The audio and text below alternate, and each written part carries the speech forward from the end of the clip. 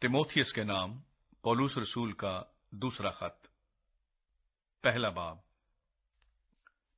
پولوس کی طرف سے جو اس زندگی کے وعدے کے موافق جو مسیح یسو میں ہے، خدا کی مرضی سے مسیح یسو کا رسول ہے، پیارے فرزان تیموتھیس کے نام، فضل، رحم اور اطمینان خدا باپ اور ہمارے خداون مسیح یسو کی طرف سے تجھے حاصل ہوتا رہے۔ شکر گزاری اور حوصلہ افزائی۔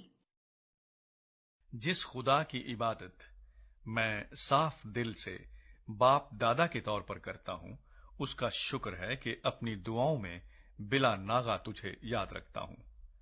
اور تیرے آنسوؤں کو یاد کر کے رات دن تیری ملاقات کا مشتاق رہتا ہوں تاکہ خوشی سے بھر جاؤں۔ اور مجھے تیرا وہ بے ریا ایمان یاد دلایا گیا ہے جو پہلے تیری نانی لوئس اور تیری ماں یونی کے رکھتی تھی۔ اور مجھے یقین ہے کہ تو بھی رکھتا ہے۔ اسی سبب سے میں تجھے یاد دلاتا ہوں کہ تو خدا کی اس نعمت کو چمکا دے جو میرے ہاتھ رکھنے کے باعث تجھے حاصل ہے۔ کیونکہ خدا نے ہمیں دہشت کی روح نہیں، بلکہ قدرت اور محبت اور تربیت کی روح دی ہے۔ بس ہمارے خداون کی گواہی دینے سے اور مجھ سے جو اس کا قیدی ہوں، شرم نہ کر۔ بلکہ خدا کی قدرت کے موافق، خوشخبری کی خاطر میرے ساتھ دکھ اٹھا۔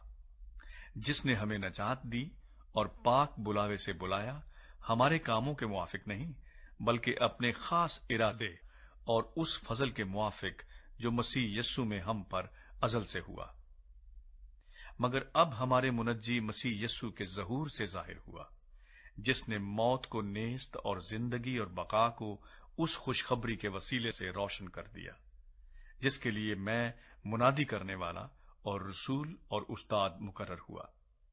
اسی باعث سے میں یہ دکھ بھی اٹھاتا ہوں، لیکن شرماتا نہیں، کیونکہ جس کا میں نے یقین کیا ہے، اسے جانتا ہوں۔ اور مجھے یقین ہے کہ وہ میری امانت کی اس دن تک حفاظت کر سکتا ہے۔ جو صحیح باتیں تو نے مجھ سے سنی، اس ایمان اور محبت کے ساتھ جو مسیح یسو میں ہے، ان کا خاکہ یاد رکھ۔ رول قدس کے وسیلے سے جو ہم میں بسا ہوا ہے، اس اچھی امانت کی حفاظت کر۔ تو یہ جانتا ہے کہ آسیا کے سب لوگ مجھ سے پھر گئے، جن میں سے فوگلس اور ہرموگینس ہیں۔ خداون انیس فرس کے گھرانے پر رحم کرے۔ کیونکہ اس نے بہت دفعہ مجھے تازہ دام کیا اور میری قید سے شرمندہ نہ ہوا، بلکہ جب وہ روما میں آیا تو کوشش سے تلاش کر کے مجھ سے ملا۔ خداون اسے یہ بخشے کہ اس دن اس پر خداون کا رحم ہو۔ اور اس نے افسوس میں جو جو خدمتیں کی تو انہیں خوب جانتا ہے۔ دوسرا باب یسو مسیح کا سچا سپاہی۔ بس اے میرے فرزند، تو اس فضل سے جو مسیح یسو میں ہے، مضبوط بن۔ اور جو باتیں تو نے بہت سے گواہوں کے سامنے مجھ سے سنی ہے ان کو ایسے دیانتدار آدمیوں کے سپرد کر، جو اوروں کو بھی سکھانے کے قابل ہو مسیح یسو کے اچھے سپاہی کی طرح میرے ساتھ دکھ اٹھا۔ کوئی سپاہی جب لڑائی کو جاتا ہے، اپنے آپ کو دنیا کے معاملوں میں نہیں پنساتا۔ تاکہ اپنے بھرتی کرنے والے کو خوش کرے۔ دنگل میں مقابلہ کرنے والا بھی اگر اس نے باقاعدہ مقابلہ نہ کیا ہو تو سہرا نہیں پاتا۔ جو کسان محنت کرتا ہے، پیداوار کا حصہ پہلے اسی کو ملنا چاہیے۔ جو میں کہتا ہوں، اس پر غور کر، کیونکہ خداون تجھے سب باتوں کی سمجھ دے گا۔ یسو مسیح کو یاد رکھ، جو مردوں میں سے جی اٹھا ہے اور دعوت کی نسل سے ہے۔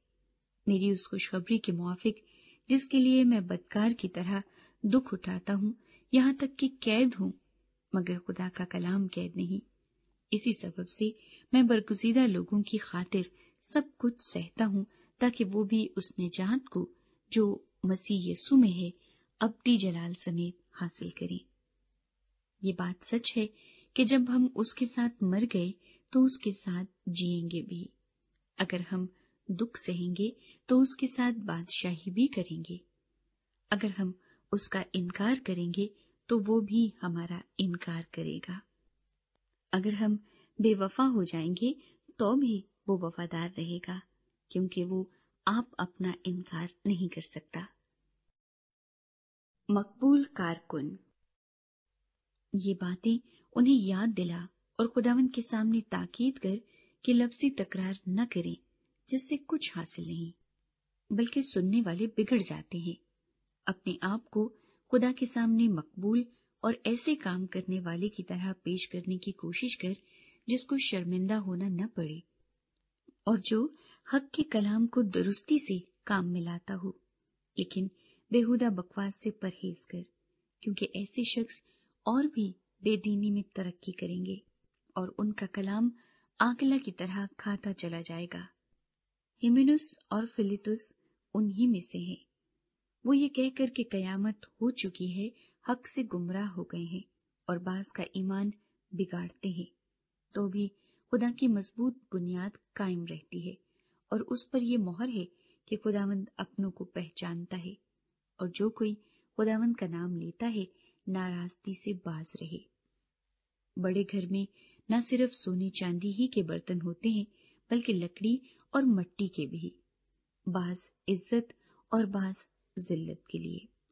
بس جو کوئی ان سے الگ ہو کر اپنے تئیں پاک کرے گا، وہ عزت کا برتن اور مقدس بنے گا اور مالک کے کام کے لائق اور ہر نیک کام کے لیے تیار ہوگا۔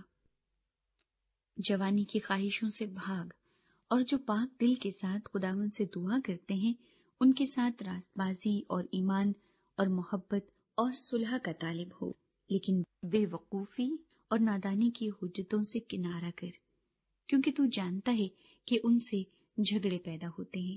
اور مناسب نہیں کہ خداوند کا بندہ جھگڑا کرے، بلکہ سب کے ساتھ نرمی کرے اور تعلیم دینے کے لائق اور برد بار ہو، اور مخالفوں کو حلیمی سے تعدیب کرے۔ شاید خدا انہیں توبہ کی توفیق بخشے تاکہ وہ حق کو پہچانے اور خداون کے بندے کے ہاتھ سے خدا کی مرضی کے اسیر ہو کر ابلیس کے پھندے سے چھوٹے۔ تیسرا باب۔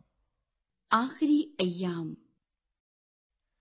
لیکن یہ جان رکھ کہ اخیر زمانے میں برے دن آئیں گے کیونکہ آدمی خود غرض زر دوست شیخی باز مغرور بدگو ماں باپ کے نافرمان نا شکر ناپاک تبائی محبت سے خالی، سنگ دل، تہمت لگانے والے، بے ضبط، تند مزاج، نیکی کے دشمن دگاباز ڈھیٹ، گھمنڈ کرنے والے، خدا کی نسبت ایش و عشرت کو زیادہ دوست رکھنے والے ہوں گے۔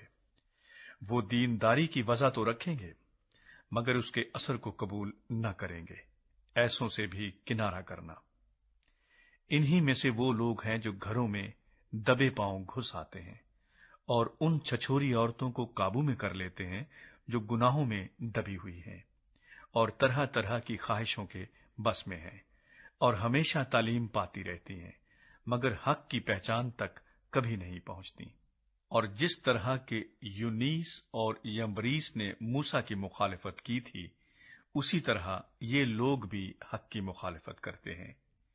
یہ ایسے آدمی ہیں جن کی عقل بگڑی ہوئی ہے اور وہ ایمان کے اعتبار سے نامقبول ہیں۔ مگر اس سے زیادہ نہ بڑھ سکیں گے اس واسطے کہ ان کی نادانی سب آدمیوں پر ظاہر ہو جائے گی جیسے ان کی بھی ہو گئی تھی۔ آخری ہدایات۔